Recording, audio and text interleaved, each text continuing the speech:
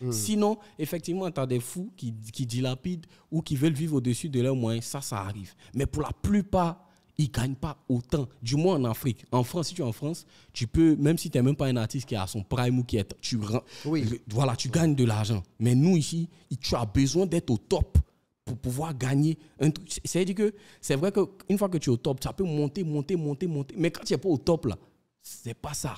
Alors, du coup, on est dans, dans le prime, ça peut aller très haut. Tu as dit Oui. 300 000, 400 millions? Bon, là, moi, je sais plus trop où on peut aller.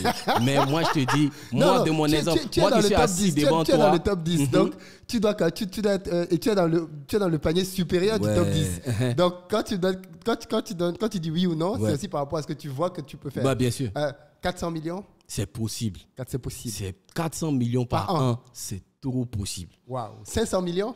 Et, là, je parle de tout, hein, la pub, tout, tout, tout, tout. Moi-même, ce que je peux te dire, Ouais. un artiste à son prime qui est vraiment malin, tu peux aller même jusqu'au milliard. En un an.